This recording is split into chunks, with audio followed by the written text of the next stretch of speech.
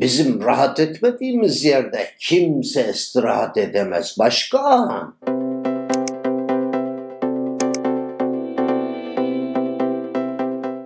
Bu hafta yolum Beylikdüzü'ne düştü. Kendi kendime karar aldım. Dedim ki İstanbul'un trafiğini çekeceğime atlarım metrobüse bir akbil parasıyla gider döner. Yanımda akbil olmadığı için de ofisten bir arkadaştan ricada bulundum. Dedim ki şu akbilini ver de bir Beylikdüzü'ne gideyim geleyim. Akbilini uzatırken dedi ki 15 lira para var. Bu sana yeterli olmaz yollarda kalırsın. Dedim ki olur mu öyle şey ya? 15 liraya ben Beylikdüzü'ne gidemeyecek miyim? Anladım Mehmet Bey siz uzun bir süredir galiba metrobüsle yolculuk yapmıyorsunuz dedi.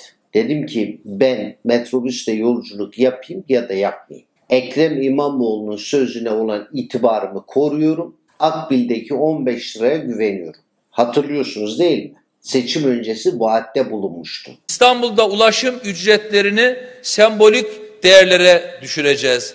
Ulaşım kesinlikle ucuzlayacak. Dinlediniz ne diyor? 16 milyon İstanbullunun seyahat hakkını kısıtlayamayız. Onun için biz göreve geldiğimizde sembolik bir rakama çekeceğiz demişti. Ben de bu sözüne olan itibarından dolayı arkadaşımın Akbil'indeki 15 liranın kafi geleceğini düşünerek yollara düştüm. Uzun çayırdaki turnikelere geldiğimde herhangi bir sıkıntıyla karşılaşmasam da uzun bir dönemdir İstanbul'da yaşayan bir insan olarak hayatımda bu kadar yetersiz bakiye cümlesini duymamıştım. O turnikelere elini kim uzatıyorsa şu sözle karşılaşıyor. Yetersiz bakiye, yetersiz bakiye, yetersiz bakiye. Şöyle turnikeye eğilip baktım. 8 küsür lira para kesti benden. Binmiş olduğum metrobüsün avcılar metrobüsü olduğunu fark etmemiş. Avcılara geldiğimde son durak diye bir sesle irkildim. O metrobüsten inip Beylikdüzü metrobüsüne aktarma yaptım. Yaptım dediğime bakmayın. O durağa geldiğimde malum sesle ben de karşılaştım. Bakiyenin yetersiz olduğuna dair beni de uyardı. Akbil'e dolum yaptıktan sonra geri geldim. Baktım sırada bir hayli kuyruk var. Bu HES kodu mu nedir onu yüklemeyenlerle yetersiz bakiyesi olanlar bildiğiniz kuyruğa dizilmiş bir çözüm arıyorlar. Bütün cesaretimi toplayıp telefonumu cebimden çıkardım. Dedim ki ben bu rezilliği çekeceğim. Kamuoyuyla da bunu paylaşacağım. Cesaretimi topladım ama güvenlik görevlisinin bana bir bakışı vardı. Usulca telefonumu yerine koydum. Vallahi tırstım. Nasıl tırsmayayım? Kemal Kılıçdaroğlu bir taraftan çıkıp tehditler savuruyor. Ekrem İmamoğlu tehdidin başka bir boyutunu yaşatıyor millete. E şimdi Türkiye'nin yönetimine talip olan yani Cumhurbaşkanlığına aday olması düşünülen bu isimler eğer bu kadar pespaya bir şekilde tehdit savuruyorsa güvenlik görevlisinin beni oracıkta boğmaması için bir sebep yok dedi. Korkup telefonumu cebime koyduktan sonra yoluma sessiz sedasız devam ettim. Allah aşkına haksız mıyım? Şu görüntüleri bir izlesenize. Bu konu geçtiğinde gözlerimin içinde çakan şimşekleri herkes görsün. Benim kişisel alanıma, benim kişisel sürecime müdahale etme, densizliğini, ahlaksızlığını gösteren devletin hangi kademesinde kim varsa hesabını verecek. Ama bugün ama yarın yediğimiz yemeğin hala konuşulması o sadece boş işleri olan insanların işi. Ekrem İmamoğlu aşağı, Ekrem İmamoğlu yukarı. Başka dertleri yok. Happy topu masumane bir sorun. Ekrem İmamoğlu'nun o karda kışta gitmiş olduğu restoranla ilgili neler düşündüğüne dair bir soru soruluyor kendisine. Sen misin bu soruyu soran? Ekrem Bey'imizin gözlerinden ateş fışkırmış. Bu soruyu diyor bana soran insanlara bugün olmasa da yarın mutlaka hesabını soracağım. Yani eleştirinin mahkeme konusu olabilme ihtimali yok. Hesabı mahkeme yoluyla sormayacaksa acaba hangi yöntemle soracak? Bana soru sormak yasak dese anlarız. Ben her türlü soruya açığım. Şeffaf bir belediye başkanıyım. 16 milyon insana hesap vermeye her zaman hazır bir insanım diyen kendisi. E İstanbul'da yolda perişan oluşunun hesabını sormayacak mı? Sorulan her soruya bu şekilde celallenmenin ne manası var? Bana soru sormayın. gözümden ateş fışkırıyor. Özelime bu kadar müdahale etmesi beni çıldırtıyor. Ben bunun hesabını herkesten sorarım gibi çıkışlar bir belediye başkanına yakışır çıkışlar değil. Sanki adam evinde menemenle musakka yemiş biz dönmüşüz demiş ki sen evde niye menemen yiyorsun ya da musakka niye yiyorsun? Ya başkan ya sen soruyu algılamak hususunda sıkıntı yaşıyorsun ya da sen eleştiriye tahammül etmiyorsun. O karda kışta yollarda perişan olan vatandaş Lazya'nın demesiyle bizim rahat etmediğimiz yerde kimse istirahat edemez başka deme hakkına sahip değil. Nihayetinde siz o vatandaşların oylarıyla o koltukta oturuyorsunuz. Vatandaş vermiş olduğu oyun bedelini istiyor. Üstelik aynı tepkiyi Ulaştırma Bakanı'na da gösterdiler. Havaalanındaki o kar kış nedeniyle Ulaştırma Bakanı da tepe tuttular. Ulaştırma Bakanı sizin gibi hiç tepki göstermedi. Kaldı ki adam koca ülkenin bakanı, sizse sıradan bir belediye başkanısınız. Bu celallenme niye? Onun gözleri göz değil mi ki ateş fışkırmasın? Bu gözler sadece size has gözler mi Allah aşkına? Ya o değil de bir de Sayın Cumhurbaşkanıma diktatör demiyorlar mı? Allah bu zulmü kabul etmez. Her türlü küfür, hakaret, eleştiri yaptıkları Sayın Cumhurbaşkanı'na diktatör diyecekler. Bir soruya dahi tahammülü olmayan önüne gelen herkese tehditler savuranlar da demokrasi havarisi kesilmiş bu ülkede. Hadi lan oradan. Hepiniz kurban olun Cumhurbaşkanı'nın ayağının altına.